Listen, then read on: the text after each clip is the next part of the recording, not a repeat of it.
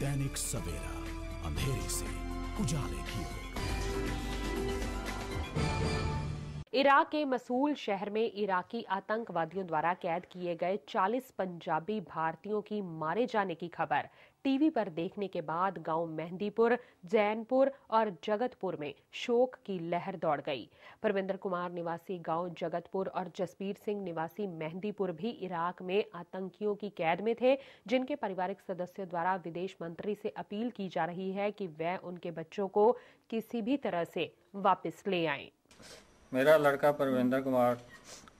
ਦੋ, ਤਿੰਨ ਸਾਲ ਪਹਿਲੇ ਇਰਾਕ ਗਿਆ ਸੀ ਤੇ ਇਰਾਕ ਵਿੱਚ 14 ਜੂਨ 2014 ਨੂੰ ਉਹਨਾਂ ਨੇ ਤੰਗਵਾਦੀਆਂ ਬਗਦਾਦੀ ਨੇ ਅਗਵਾ ਕਰ ਲਿਆ। ਤੇ ਉਹਦੇ ਬਾਅਦ 14 ਜੋ 15 14 15 ਤਰੀਕ ਤੋਂ ਬਾਅਦ ਸਾਡਾ ਕੋਈ ਉਹਦੇ ਨਾਮ ਨਾ ਟੈਲੀਫੋਨ ਮਿਲਿਆ, ਨਾ ਸਾਡਾ ਜਾਂਦਾ, ਨਾ ਉਹਦਾ ਆਉਂਦਾ। ਅੱਛਾ ਜੀ, ਹੁਣ ਸਾਨੂੰ ਸੁਸ਼ਮਾ ਵਿਦੇਸ਼ ਮੰਤਰੀ ਸਨ, ਇਹ ਕਹਿੰਦੇ ਆ ਵੀ ਤੁਹਾਡੇ ਬੱਚੇ ਸਾਰੇ ਸੁਰੱਖਿਅਤ ਹੈ।